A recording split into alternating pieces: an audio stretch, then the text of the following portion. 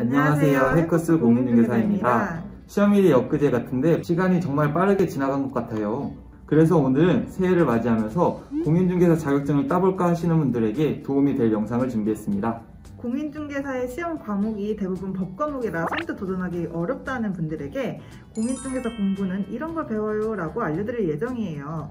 과목별로 무슨 내용을 배우는지부터 문제가 어떤 식으로 나오는지까지 모두 한 번에 알 수 있게 해드릴게요. 네, 먼저 모든 과목의 기본이 되는 민법에 대해서 알아보겠습니다.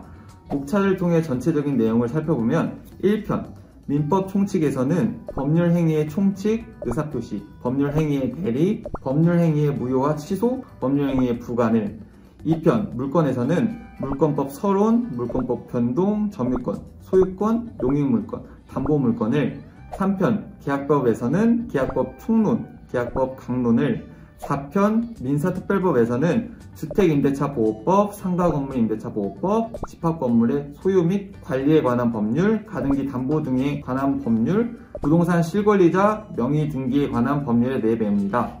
해커스 공인중개사의 기본서는 어떻게 되어 있는지 교재도 한번 살펴봐요. 오, 기본서는 이런 식으로 되어 있군요. 민법은 표로 정리된 부분이 많네요. 표로 정리된 걸 보니 서로 비교하며 공부해야 하는 부분이 많을 것 같아요. 맞아요. 민법 문제는 예를 들면 물권법 단원의 전세권과 계약법 단원의 임대차 부분에 대해 묻는 식으로 단원끼리 연결되어 나와요. 그렇기 때문에 단원끼리 비교하고 특징을 정리하면서 암기하셔야 문제풀이가 수월해요. 문제를 맞히기 위해 공부를 하는 것이니 출제 포인트에 맞춰 공부를 해야겠죠? 그럼 말이 나온 김에 문제가 어떻게 나오는지 살펴봐요.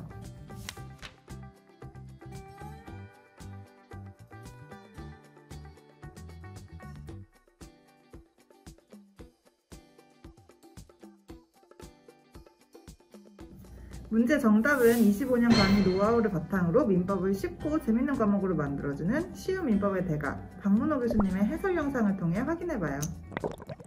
자, 갑은 자신의 토지를 을에게 팔고 중도금까지 수령했는데 토지가 공용, 수용, 재결 수용되는 바람에 을에게 소유권을 이전할 수 없게 됐다.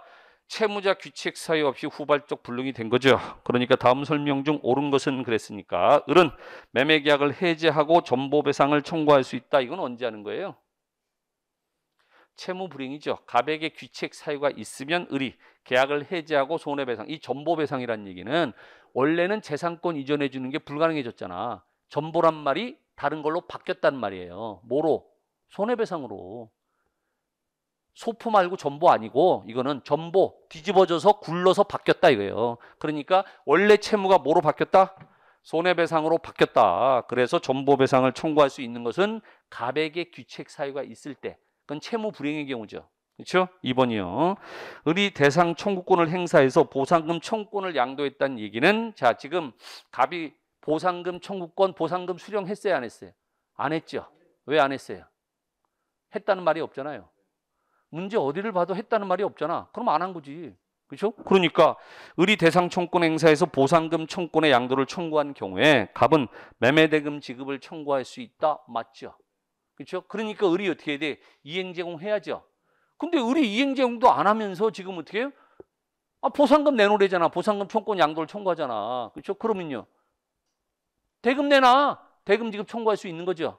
2번 맞죠? 그렇죠? 얘가 이제 다른 말로 변형돼서 나올 수 있다 이거예요. 이제 3번. 자, 을은 이미 지급한 중도금을 부당이득으로 반환 청구할 수 없어요. 있지. 기이행된 반대 급부는 돌려줘야죠.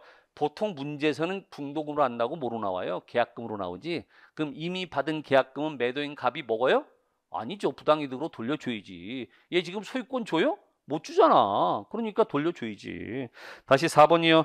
을은 계약 체결상의 과실을 이유로 실내이익의 배상을 청구할 수 있다. 근데 실내이익 배상은 언제만요? 언제만요? 원시적 전부불능 무효 계약 체결상의 과실 책임 실내이익 배상. 그래서 실내익 배상은요 원시적 전부 불능일 때만 적용이 됩니다.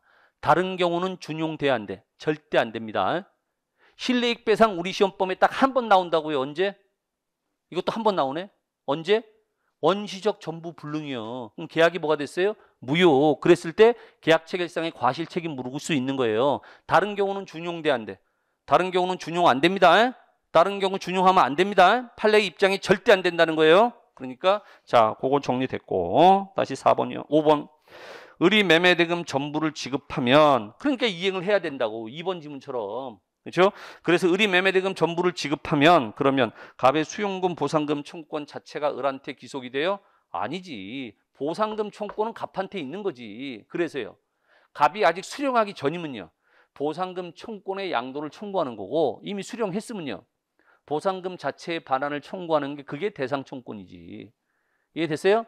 그래서 아직 우리 기출 문제에서 뭐가 관가돼 있냐면 대상 청구권을 행사하려면 을이 먼저 뭘 해야 된다? 대금 지급해야 된다. 이행 제공해야 된다. 됩니까? 그 다음에 이제 구체적인 내용에서 보상금 청구권은요, 누구한테 기속된다? 당연히 갑한테 기속되는 거지. 근데 갑이 아직 돈을 받았냐, 안 받았냐? 돈을 받아갔다, 안 받아갔다. 문제에 아무 말 없죠? 그럼요, 안 받아간 거죠. 그럴 때는 보상금 청구권의 양도를 청구하는 거고, 이미 보상금 받아갔죠? 그럴 때는요, 보상금 자체의 반환을 청구하면 된다고요. 됐습니까? 위험부담에서는 이제 요거 하나만 주의하시면 돼요. 문제풀이 중에 어느 지문이 변형되어 나올 수 있다고 정확하게 말씀해 주시니까 공부할 때 어디에 포커스를 맞춰서 공부해야 하는지 감이 쉽게 잡힐 것 같아요. 역시 경력에서 오는 노하우는 다른 것 같아요. 민법은 강의를 들을 당시에는 이해가 안 됐던 부분이 문제풀이를 통해 이해가 되는 경우가 많아요. 그래서 개념을 이해한 후 문제에 적용하는 과정이 중요한데 박문호 교수님 강의를 통해 공부하면 문제가 없겠네요. 이번에는 공인중개사 과목 중 유일하게 법 과목이 아닌 부동산학개론에 대해서 알아봐요. 개론이라는 것이 어떤 전반에 대한 보편적인 기본 개념을 설명하는 의미인 만큼 부동산에 대한 기본 개념을 설명하는 과목이라고 생각하시면 될 것 같아요. 부동산학 개론은 1편 총론에서 부동산의 개념, 부동산의 특성, 부동산 활동에 대해 배우고요. 2편 부동산 경제론에서는 수요 공급 이론과 경기 변동에 대해 배웁니다. 이후에는 부동산 시장론, 부동산 정책론, 부동산 투자론, 부동산 금융론, 부동산 개발 및 관리론, 부동산 감정평가론에 대해서 배웁니다. 부동산 학개론 교재도 한번 살펴봐요. 개론이니 역시 여러 가지 개념에 대해 가장 먼저 배우는 걸 알 수 있네요. 학개론은 다른 공인중개사 시험 과목에 비해서 암기량이 적고 이해가 쉬운 과목이라고 볼 수 있어요. 하지만 계산 문제라는 복병이 있죠. 계산 문제는 선택과 집중이 필요한 부분이라고 생각을 합니다. 공부를 하시다 보면 풀 수 있는 계산 문제와 포기할 계산 문제가 점점 보이거든요. 대신 포기해야 하는 문제가 있는 만큼 이론 부분에서는 모든 문제를 마치겠다는 마음으로 공부하셔야 합니다. 부동산 학계로는 문제가 어떻게 나오는지 살펴볼까요?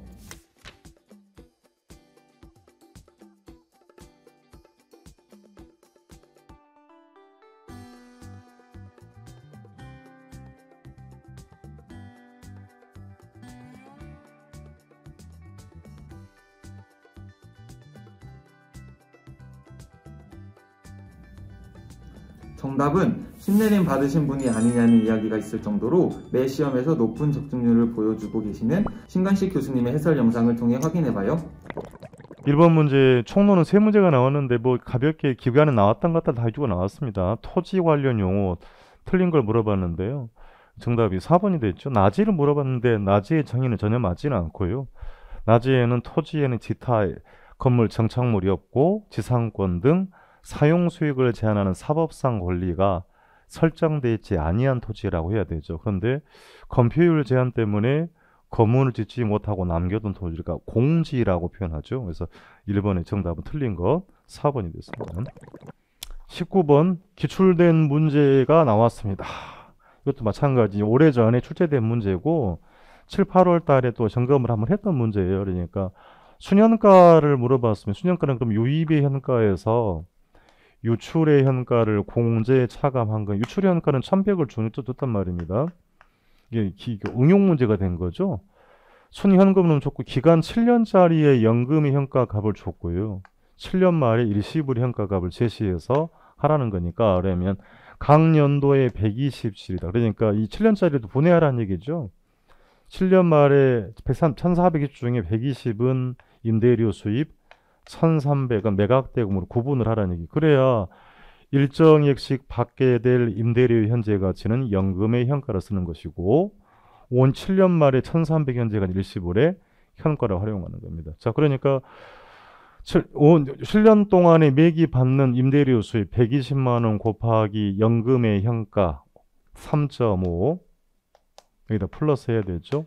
7년 말에 1300 곱하기 0 이게 얼마 됐어요? 0.6 됐습니다. 그럼 이게 이제 산수를 하게 되면 유입 현재 가치가 1200이 된 거죠.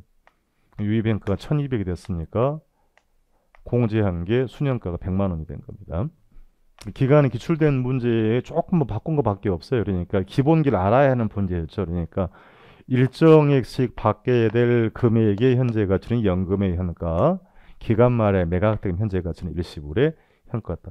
화폐의 시간 가치 이 문제만 네 문제가 나왔습니다. 올해 그걸 전부 다 활용해서 물어보는 문제였어요. 궁금해하실 것 같아서 계산 문제도 함께 보여드렸는데 어떤가요? 문제를 보니 어떤 과목인지 감이 잡히시나요? 해당 문제들은 올해 32회 공인중개사 시험에 출제된 문제였는데요. 용어의 뜻을 직접적으로 묻는 문제가 출제된 정도로 공인중개사 시험에서는 용어가 굉장히 중요해요. 용어는 낯설어서 어렵게 느껴지는 부분이 크기 때문에 익숙해지는 게 가장 첫 번째예요. 그래서 해커스 공인중개사에서 수험생분들이 용어에 익숙해질 수 있도록 듣는 용어집 영상을 업로드하고 있으니 해당 영상에 도움을 받는 것을 추천드립니다.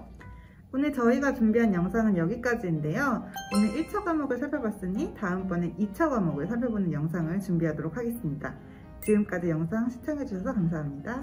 해커스 공인중개사는 여러분의 합격을 항상 응원합니다. 그럼 다음 영상에서 만나요. 안녕.